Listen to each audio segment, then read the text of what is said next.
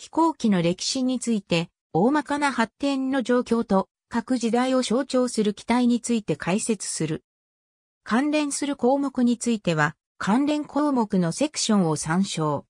機体解説の判例、メーカー名機種名説明文例、ボーイング747初飛行、XX 年、飛行する、ライトフライヤーアメリカのライト兄弟は、1903年12月17日に、飛行機、ライトフライヤー号による、世界初の本格的な有人飛行を行った。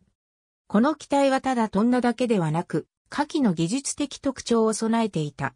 ライト兄弟以後、飛行機は、より早くより、高くより遠くへ飛べるよう改良が続けられた。また、陸上の飛行場だけでなく、海面や軍艦の甲板からも発信できるようになっていった。この時代の機体構造は、フライヤー、また操縦艦による操縦方法も現在と同じ方式に統一されていった。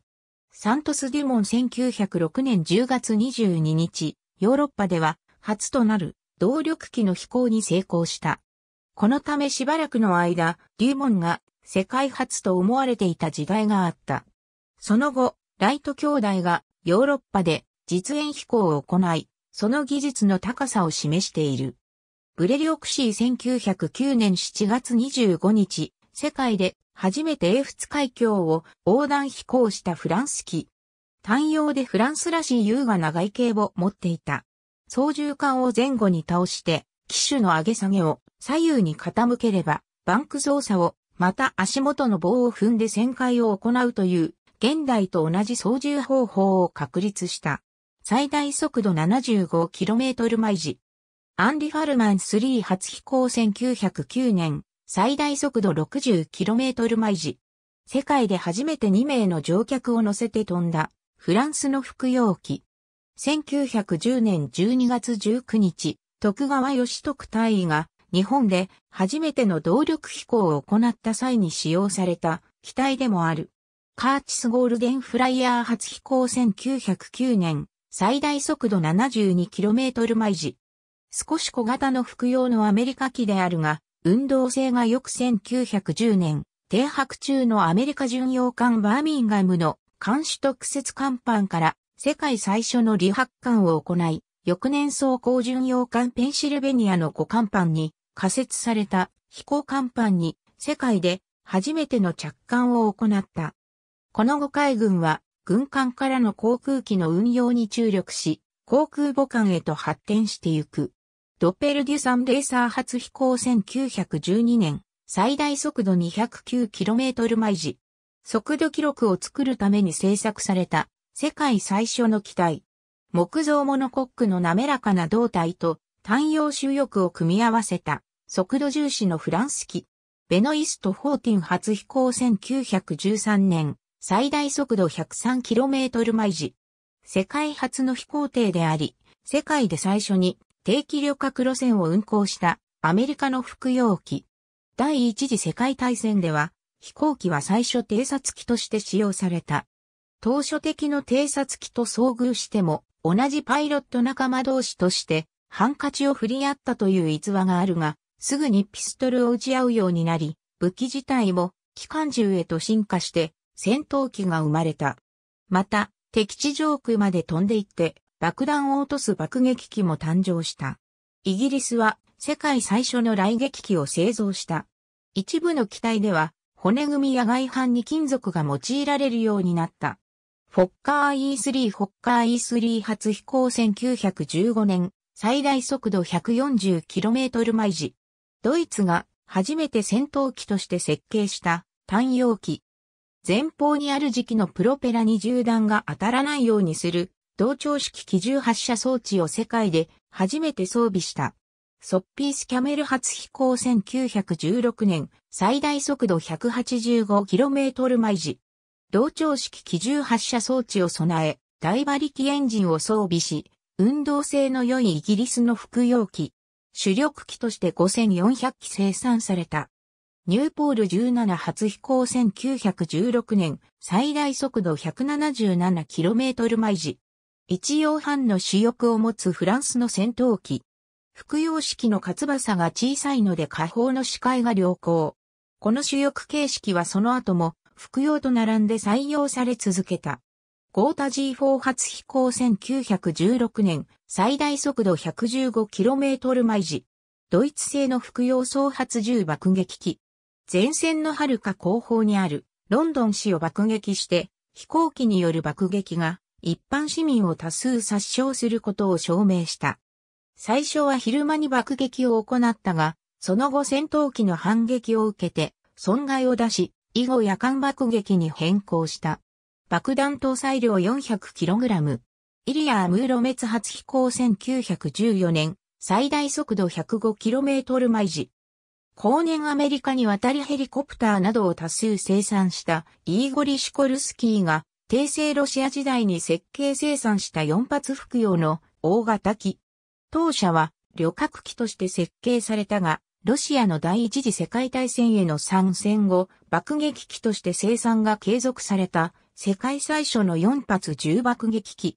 ショート184水上偵察機初飛行1914年、最大速度 130km 毎時。単発服用の水上機で、世界で初めて航空機による魚雷攻撃を行った機体。飛行機は第一次世界大戦で大きく発展し、信頼性も向上した。そこで戦後は飛行機による本格的な輸送が開始された。最初は上流階級による旅行のための旅客機や郵便運送に利用されたが、機体が大型化するにつれて一般の金持ち階級も利用できるようになっていった。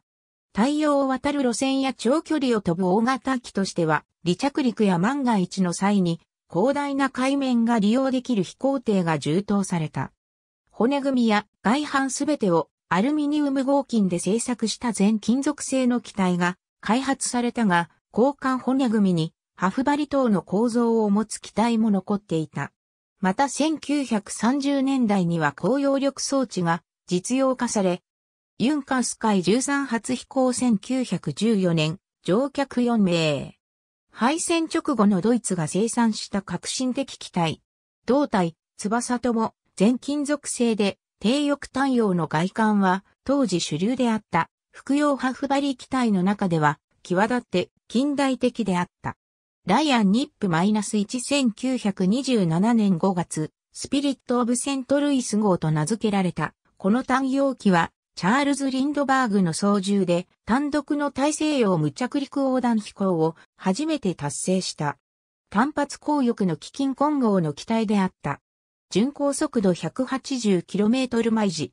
マッキ MC72 水上強速機発飛行1931年、最大速度 709km 毎時。現在でもレシプロ水上機の速度記録は本機が有している。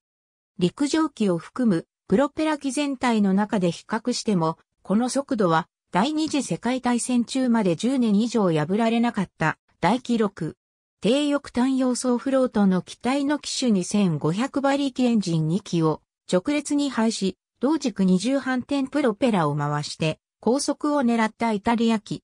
ボーイング247初飛行1933年、巡航速度 304km 毎時、乗客10名。全金属製機体、金属セミモノコック胴体、低翼単葉、引き込み足など、近代的旅客機として必要な要素をすべて具現した最初の旅客機。アメリカ大陸内の路線に使われたが、乗客10名は少なく、短期間で DC-3 にとって変わられた。ダグラス DC-3 マーチン M130、チャイナクリッパーの一つ、ダグラス DC-3 初飛行1935年、巡航速度 345km 毎時、乗客21名。ボーイング247と同じく全金属製、セミモノコック、低翼単葉、引き込み足を採用すると同時に、より大きなエンジンを搭載し、客室の幅、高さ、長さともに大きくして、旅客数を増やし快適性も上げた、総発機。最大速度が、ボーイング247より大きいにもかかわらず、フラップの採用により、離着陸速度は逆に低下した。元はアメリカ大陸横断路専用に設計された寝台機。第二次世界大戦中に軍用輸送機として大量生産されたこともあり、全生産機数は1万機以上に及ぶベストセラー機。マーチン M130 初飛行1934年、巡航速度 252km 毎時、乗客14名。パンアメリカン航空が太平洋横断路線に投入した4発、大型豪華飛行艇。アメリカからフィリピンまで4泊5日で飛んだ。客船の一等船室に対抗して、ラウンジや食堂もあり大きさの割に、乗客数は少ないが、短距離を飛ぶときは41人まで詰め込めた。ボーイング307倍と、ストラトライナー初飛行1938年、巡航速度 357km 毎時、乗客33名。ボーイング社の4発重爆撃機 B-17 の主翼と尾翼を流用して新たに太い胴体を設定した機体。客室を余圧して快適な航空の旅を提供できた最初の機体。第二次世界大戦で飛行機は戦闘の主役となった。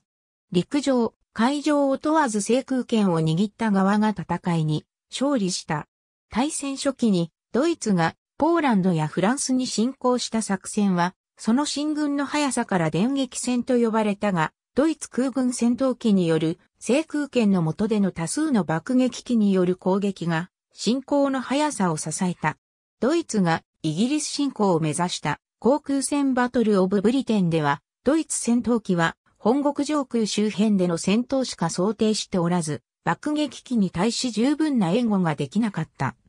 その結果ドイツ爆撃隊は、イギリス防空戦闘機によって重大な損害を受け、イギリスへの侵攻は断念された。地中海では、イギリスは有力な航空母艦勢力を利用して、ジブラルタルからイタリアの鼻先にあるマルタ島を経由し、アレキサンドリアに達する地中海のシーレーンを維持した。イギリス空母イラストリアスに搭載された攻撃機は1940年11月11日の夜、イタリアのタラント軍港を雷爆撃し、停泊中のイタリア海軍の戦艦2隻を大破、着底させたの艦にも損傷を与える大戦果を挙げた。大西洋では戦争初期に大いに暴れ回ったドイツの潜水艦であったが、1943年以後、アメリカで大量生産された護衛空母に搭載された飛行機による対戦作戦が始まると形勢は全く逆転した。戦争末期ドイツ本土は昼間はアメリカの B-17、夜間はイギリスのランカスターという4発10爆撃機コンビの攻撃を受けて荒廃していった。これらの攻撃に対しドイツは高速のジェット戦闘機やレーダーを装備した夜間戦闘機を開発して対抗したが、米英の物量の前に敗北した。なお世界初のジェット機はドイツのエルンスト・ハインケルが完成させ1939年8月に初飛行した HE178 だが、この機体は実用化されなかった。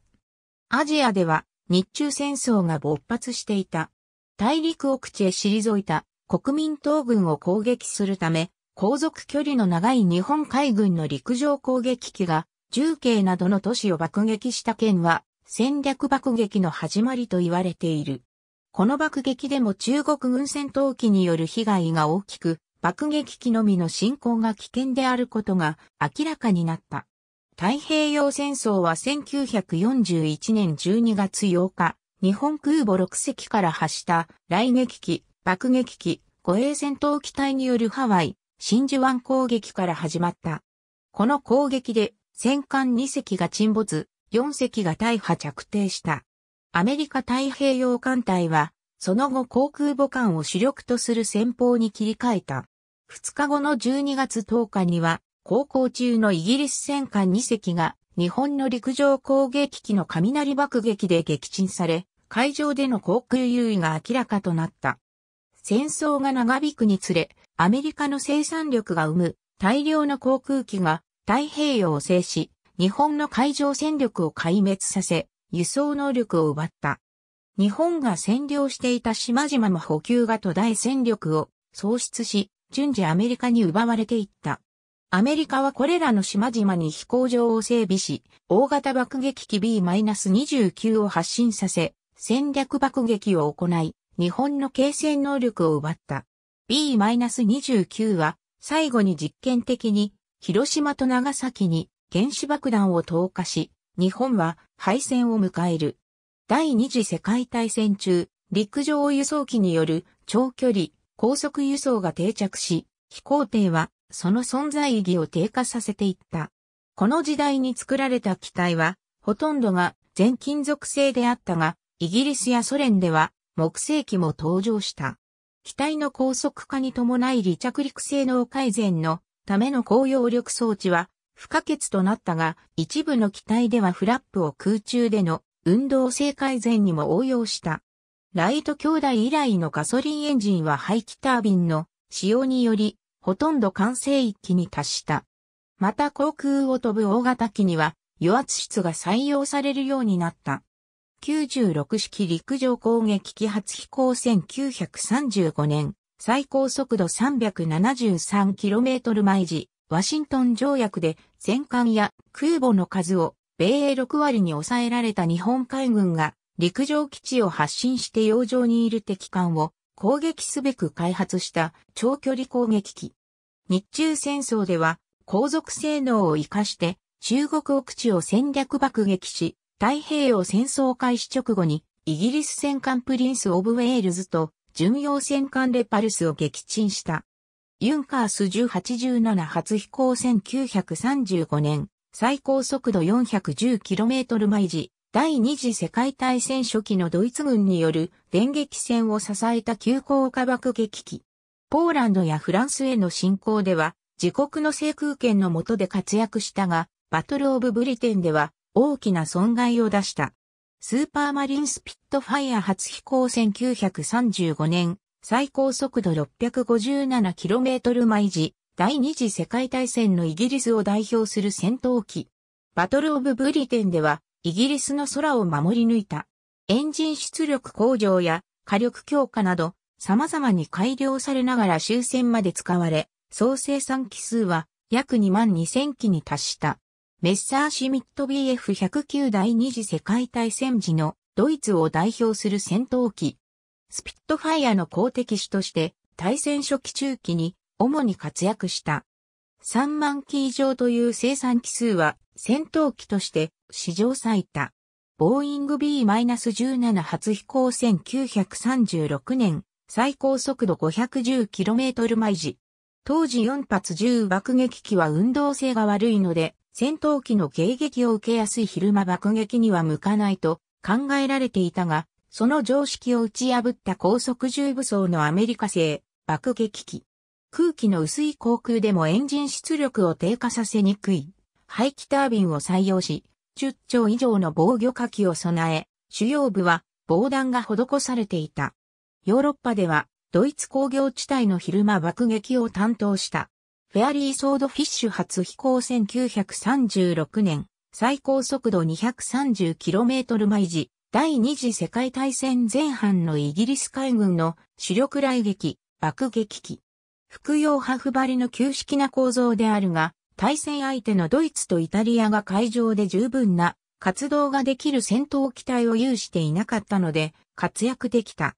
イタリアのタラント軍港を夜間攻撃してイタリア海軍の戦力を大幅低下させ、ドイツ戦艦ビスマルクに魚雷を命中させ、操舵能力を奪う等、海上での航空優位を知らしめた機体。97式艦上攻撃機発飛行1937年、最高速度 378km 毎時、第二次世界大戦初期から中期までの日本海軍の主力攻撃機。全金属製、単用、引き込み足を艦上攻撃機としては世界で最初に採用した。真珠湾攻撃では水平爆撃と魚雷攻撃によりアメリカ太平洋艦隊主力の戦艦軍を壊滅させ、その後の作戦でも多数の連合国側艦船を沈めた。零式艦上戦闘機初飛行1939年、最高速度 518km 毎時、海戦時太平洋地域の最強戦闘機。高速、重武装、良好な運動性、長大な航続力という相反する性能を高度に達成した。日本海軍の主力戦闘機として終戦まで改良されながら1万機以上生産されたが、機体構造に余裕が少なく大きな性能向上はなかった上、後継機の開発が遅れたため性能的に差をつけられた戦争後期まで使われた。ノースアメリカン P-51 初飛行1940年、最高速度 702km 毎時、第二次世界大戦で最優秀とも評される戦闘機。スピットファイアなどと同じ水冷エンジンマーリンを搭載し、スピットファイアを上回る速度と航続力を有する戦闘機。長大な航続力を活かしアメリカ爆撃機体の援護、戦闘機としてドイツや日本の上空で活躍した。デハビランドモスキート初飛行1940年、最高速度 612km 毎時、全木製の高速走発機。最初は爆撃機として生産されたが、高速を活かして機種にレーダーを装備した夜間戦闘機タイプなども作られた万能機。木製構造も使いようによっては優秀機となれることを証明した。メッサーシミット目262発飛行1942年、最高速度 866km 毎時、ドイツが開発した世界最初の実用ジェット戦闘機。ボーイング B-29 発飛行1942年、最高速度 576km 毎時、油圧室の採用、機銃の遠隔操作等の技術を盛り込んで製作されたアメリカ銃爆撃機。強力なエンジンと排気タービンの組み合わせにより優れた航空進行能力を有した。日本の各都市を戦略爆撃によって焦土にした。ロッキードコンステレーション初飛行1943年、巡航速度 526km 毎時、乗客81名。油圧された客室を持ち、アメリカ大陸を無着陸で横断できる機体として製作されたアメリカ製のレシプロエンジン4発旅客機。戦争中に開発されたため当初は軍用輸送機として使用された。この旅客機は当時の零式艦上戦闘機では追いつけなかった。大戦末期に実用化されたジェットエンジンは直ちに軍用機に採用され、戦闘機や爆撃機はジェット化されていった。また交代翼や三角翼に関する技術もドイツ敗戦直後にソ連とアメリカに流出し、戦闘機や爆撃機の高速化に貢献した。レシプロエンジン爆撃機や直線翼ジェット戦闘機は朝鮮戦争でその使命を終了した。またそれまで超えることができないと考えられていた音の壁はアメリカのロケット実験機 X-1 により突破され、その後は超音速飛行が可能な戦闘機が続々と製作された。1948年のベルリン封鎖では、旧ソ連に陸路を封鎖されたベルリン市に対し、アメリカ空軍を中心とした航空輸送が行われ、飛行機のみで大都市の機能が維持された。民間航空のジェット化はイギリスがコメットで宣弁をつけたが、その後は大量のアメリカ機に圧倒されていった。飛行機の大型化、高速化に伴い、人力による直接の操縦は不可能となり、油圧アクチュエータを介して、火事面を操作する方式が一般化した。ベル X-1 発飛行1947年、最高速度マッハ1.45、ロケットエンジン推進の実験機。アメリカが飛行機は超音速でも操縦可能かという問いに回答するために制作した。チャックイ・エーガーの操縦により、1947年10月14日に世界で初めて音速を突破した。飛行実験は通常大型爆撃機に吊り下げられて航空に達し、そこからロケットエンジンで加速したが、通常の離陸も可能であった。ミコヤンミグ -15 発飛行1947年、最高速度 1100km 毎時、ソ連製の交代翼ジェット戦闘機。朝鮮戦争においてその性能を発揮し、西側各国を戦慄させた。アメリカやイギリスの直線翼ジェット戦闘機では、歯が立たず、日本が手を焼いた B-29 も容易に撃墜した。本機の優位は、下記 F-86 が戦線に参加するまで続いた。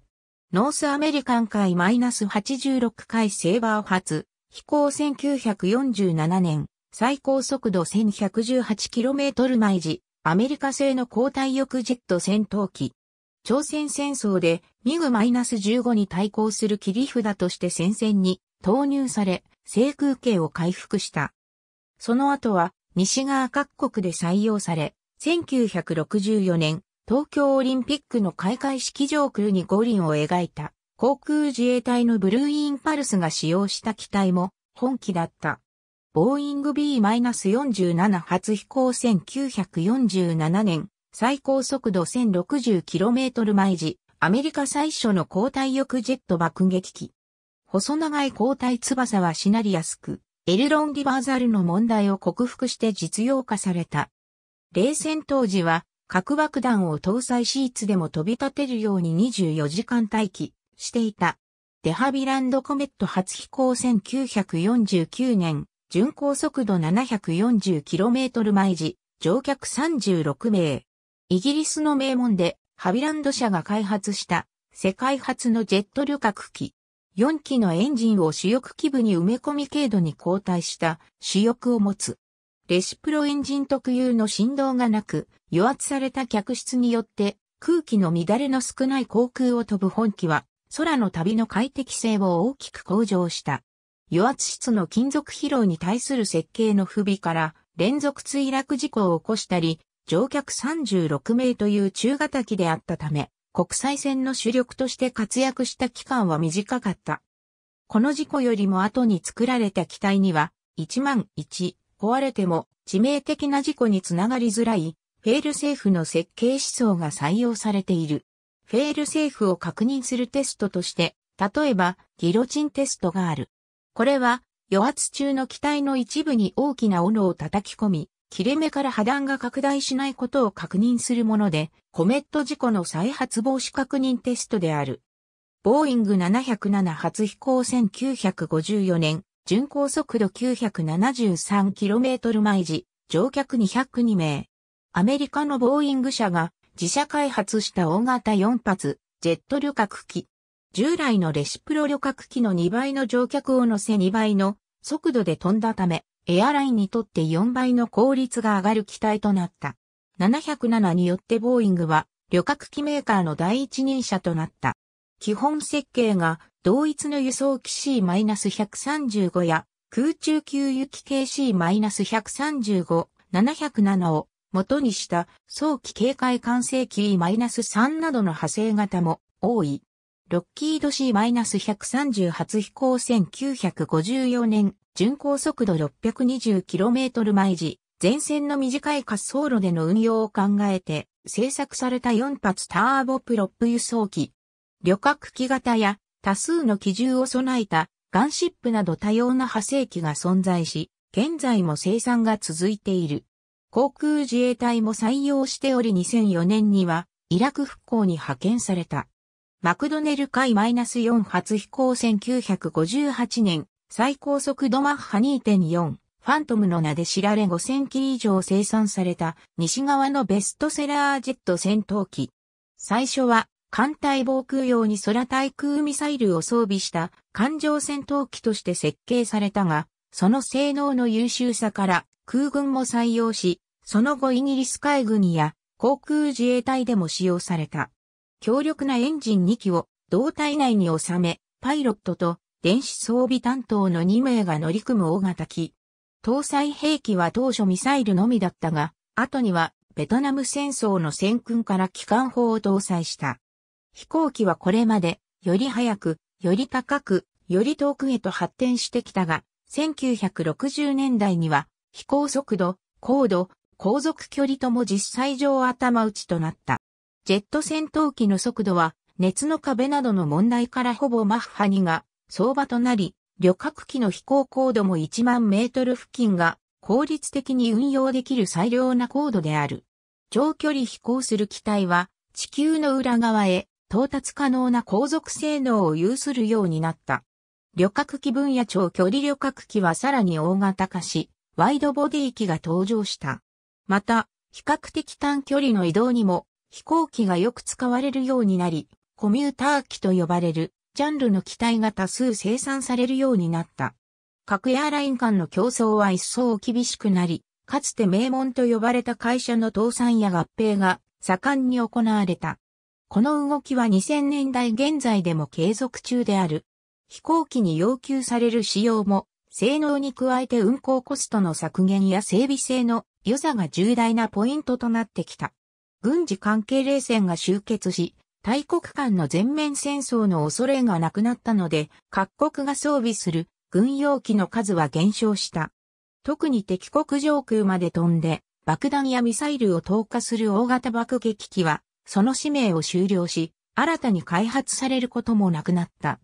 軍事分野での新たな進展は敵に見つかる。構造材料従来は、アルミニウム合金が主流であった。構造材料に、繊維強化プラスチックなどの複合材料が使われるようになった。出現当初はあまり強度を要求されないなど、さほど重要でない部分の軽量化に使われていたが、信頼性が確保されるにつれて、胴体や主翼などの重要な構造部材にも適用され始め、大幅な軽量化の実現に成功しつつある。複合材料は金属よりもレーダー波を反射しにくく、その点からもステルス機に対応される。操縦システム従来の操縦管ケーブル油圧アクチュエータ動翼という流れの操縦システムに代わり、操縦管コンピュータと電線油圧アクチュエータ動翼というフライバイ、ワイヤ方式が確立された。